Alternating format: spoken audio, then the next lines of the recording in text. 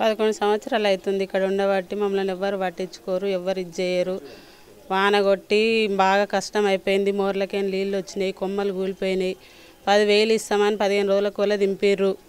ఎక్కడ పది రూపాయలు ఇవ్వలేదు మాకు ఒక ఐదు కిలోల బియ్యం కూడా ఇవ్వలేదు ఏమి ఇవ్వలేదు ఎవ్వరు ఆదుకోలేదు. తిరిగినాము ఈ సేవలకు పోయినాము లైన్ కట్టినాం నైట్ అంతా అక్కడే ఉన్నాము. ఆడ మస్తు దెబ్బలు తగిలినాయి మాకు అవి కూడా రాలేదు అడిగిపోతే తీసుకున్నామని చెప్పిర్రు మాకు.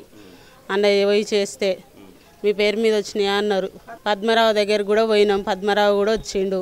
ఇప్పిస్తా ఇప్పిస్తాను అన్నాడు. ఇప్పియలేదు. ఆయన కూడా మాకు ఎవరు ఇవ్వలేదు ఎవరేం సాయం చేయలేదు. ఇక వాసన అంటే ఇక ఇట్లనే ఉంటున్నాం. వాసన వచ్చినా ఎవరు పట్టించుకోరు. ఈడో జాలి వేసిరు జాలి కూడా తీసేసిరు ఏం లేదు మాకు. ఎవరు సాయం లేదు. ఎవరు పది రూపాయలు ఇచ్చేది లేదు.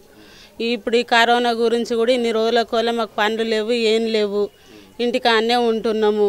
పనులకు పోదామంటే భయము. కనీసం ఎవ్వరు వచ్చి కూడా ఆదుకోలేదు. ఏ లీడర్ రాడు ఎవ్వరు మాట్లాడరు మాకు.